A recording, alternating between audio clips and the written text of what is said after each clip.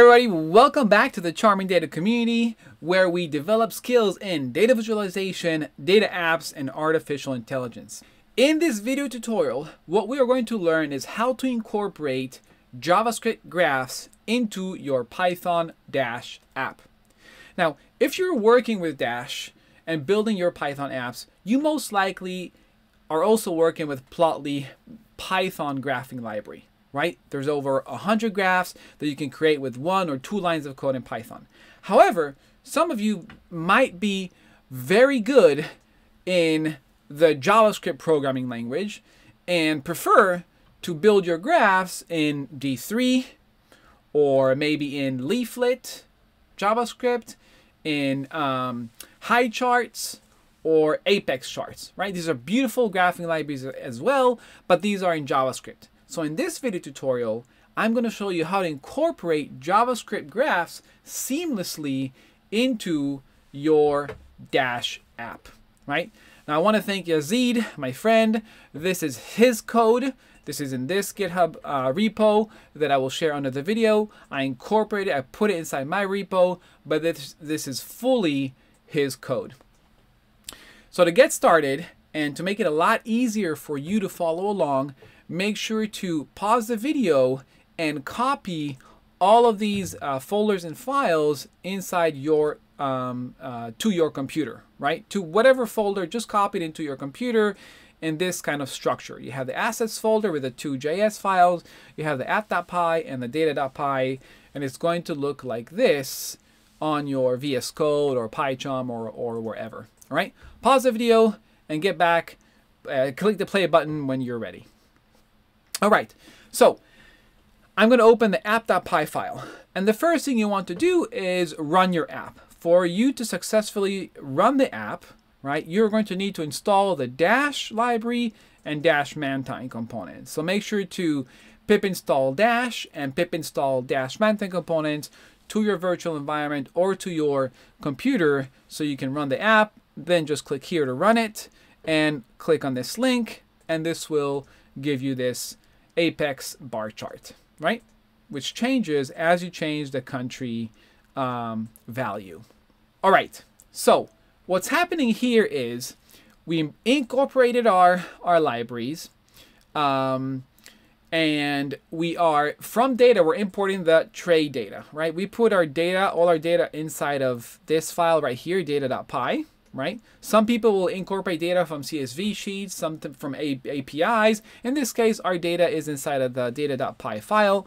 So we just call it into our app from data import trade data, which is obviously this one, trade data. And now we have our trade data inside our app and we're going to store it. DCC store is a dash store component. This is how we store data onto the browser. So when this app first loads, the data is stored on the client side on the browser. All right. Now, because this is Python, right? This is a Python file and a Dash app. You uh, you cannot pip install Apex charts. Apex chart is a JavaScript library, so we're just going to incorporate or like install the library, um, import the library with the CDN. We're just incorporating this uh, external script into our Dash app. Now with this, we can actually build our Apex uh, charts. Right, and now we have the layout. And this is mainly what we are doing with our Dash app. We are building the layout, the user interface around the JavaScript uh, graph, right? The JavaScript bar chart. So as you can see here, we have our title, JavaScript charts inside a Dash app. We have our title right here and then we put everything in the center and uh, you're going to have the this the segment control these countries Australia USA Canada Australia USA Canada with initial value Canada so if I put this as USA and I refresh the initial value is going to be Canada when the page first loads and then we have this empty div right we're going to hashtag out the client side callback save it and we'll see that everything is going to go inside this div right? The all the whole chart, the whole bar chart. But it's we're going to do that with the callback, right? Now you'll see that I have no chart in here. I just have this paper. You can see a little bit of shadow to the right, to the left, and I have the um, segment control this, but this div is empty. The children is empty. And we're going to put inside the children, we're going to put here the graph through the client-side callback. Control, we'll hashtag this back in, save it, and now you see the graph right here above the segment control. So how do we incorporate this bar chart from Apex chart into our Dash app? Well, in this case, we're using the client-side callback because Apex chart is JavaScript and because we can use everything we can use the client-side callback to do everything on the client side, on the browser. So we don't have to pass our information and our graphing library and our instructions back and forth from the server to the browser, server to the browser. It just makes things slower and less efficient. So we um, um, imported our client-side callback and client-side function, and this is where declare, this is where we declare a function, or at least where we uh, um, tie to our JavaScript function right here. So let's let's take a break for one second and look at the apexchart.js file right here. Asset apexchart.js file. Here you'll see that our namespace is apexchart and our function name is area chart, right? And that is exactly what we have to um, mention in our client-side callback. We have our client-side function with a namespace apexchart and the function called area chart right here, area chart. Every namespace can have two, three, four, or five function. You can have uh, every function can have a different graph. In this case, we'll have one namespace with only one function called area chart. All right, now what we need is two inputs. All right, we're going to take the data from from the Dash app that exists on the browser, and we're going to take the value of this of this um, segment control component. This value right here, either Canada or USA or Australia. We need these two things in order to build the Apex bar chart, right? We need the data and we need the country so we can filter the data um, and create new traces, right? Create a new bar chart. So the first input is the data and the second input is the value of this one of the countries chosen. And this is what you have here. The first input of this area chart function is the data, and the second input is a selected country, just a string. All right. So now that we have our inputs, now we can actually build the graph inside our JavaScript file. The first thing we want to do is we are listening to, we're getting the element that belongs to this Apex chart ID. Remember this ID? If we go back here, this is the ID right here, right? So the children of this ID. If there's anything in there, we're going to erase it and we're just going to create, assign an empty string.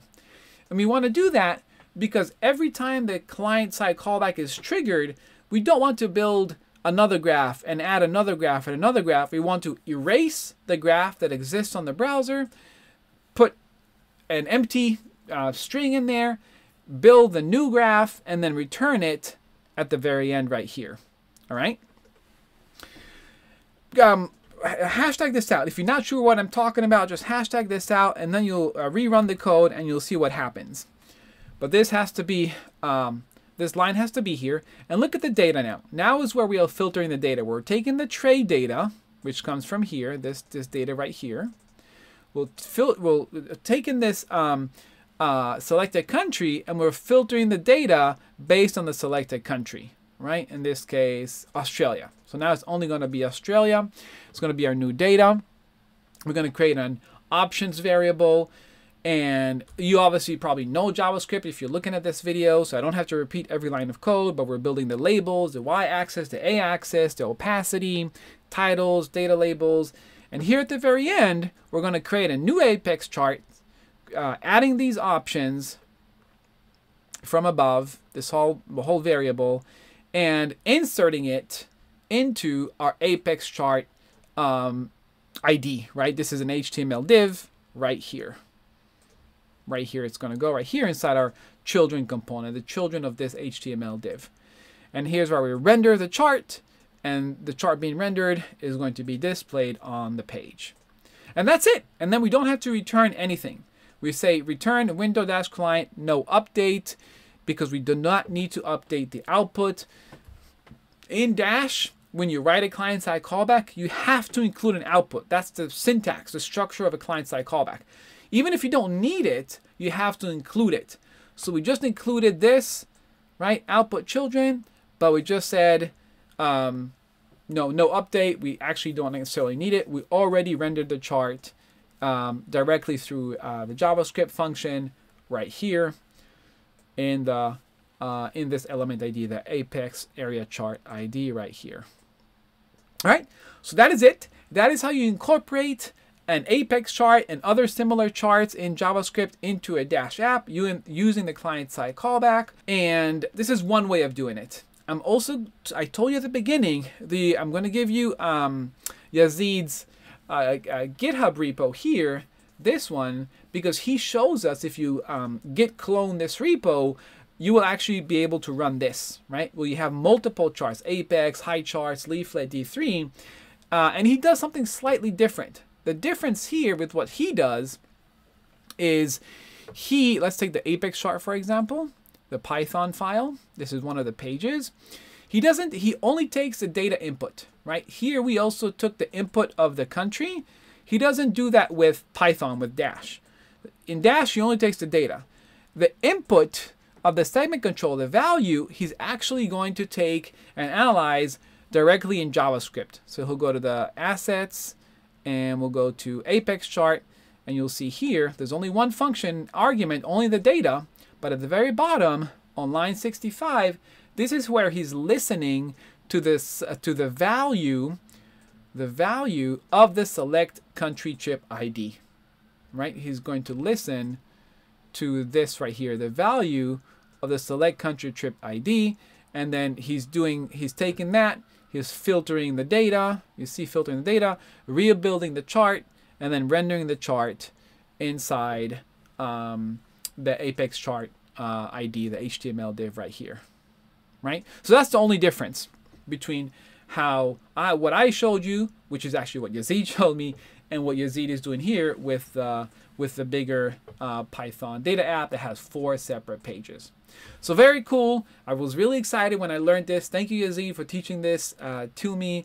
Um, I hope you learned a lot. I hope you enjoyed. If you did, click the like button, subscribe. Don't forget to join the join the Charming Data community where we work on monthly projects together to learn data viz, data apps, and AI integrations uh, while we develop our career uh, project portfolio. Always remember, we're better together, so help each other out. I'll talk to you soon.